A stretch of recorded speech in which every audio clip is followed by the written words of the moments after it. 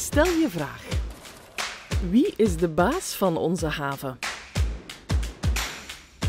De haven wordt uitgebaat door het havenbedrijf, dat dezelfde naam draagt als die van de haven, Noordseaport.